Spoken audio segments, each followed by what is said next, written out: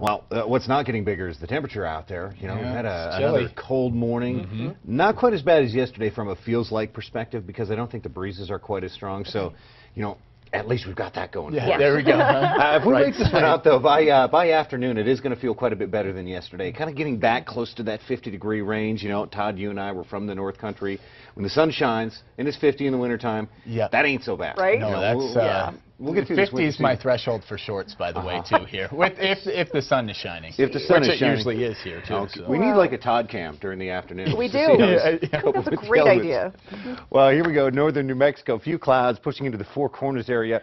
Pretty thin stuff. These clouds that'll be drifting over the northern half of the state won't block out all the day's sunshine, so don't worry about that. Our early morning temperatures, well, it's 7 in Taos, 2 Angel Fire. A little bit warmer than yesterday morning. 10 degrees Grants right now. I think it was 3 at this time yesterday. Uh, about 15 Farmington, southern New Mexico, a collection of teens and 20s, so everybody feeling the chill. Look at Roswell and Carlsbad, a pair of 14s. Uh, we talked about this a little bit yesterday morning, towards the end of more in the morning, but does your skin feel super duper dry?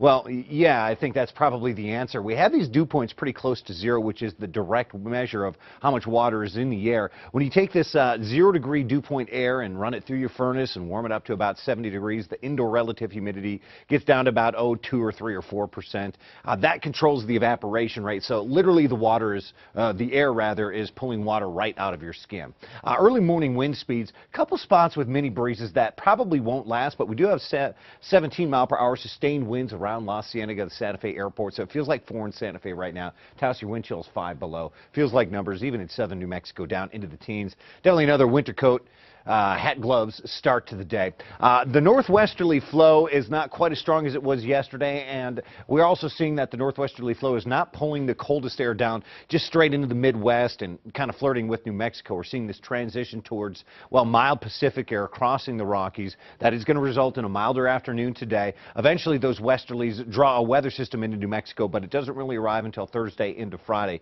Yeah, the outlook's changed just a little bit later on this week. Today it's patchy clouds, maybe a spot in northern mountain snow shower. Uh, the clouds basically gone by Wednesday. Uh, look what happens as we page into the early morning hours of our Thursday. Thicker clouds start to build into western New Mexico, and I'm thinking by Late Thursday into Friday, there will be some rain and snow showers back on the increase across the state, especially for areas west of I-25. That's probably where we're going to get hit the hardest. Four corners. While you're further into the 40s and even some low 50s start to show up around Gallup and Grants. Uh, we're going to watch Thursday for Friday for a wintry mix and some snow showers that, that may peak Thursday night and into very early Friday morning. Southwestern New Mexico, Thursday is going to probably turn into a rainy day on you, and then there could be a little bit of a wintry mix or some light snow into Friday morning. Should dry back out for the upcoming weekend. Southeastern New Mexico, hey, how about 50s on the afternoon thermometer? Yesterday it was only 30. 64 tomorrow in Carlsbad.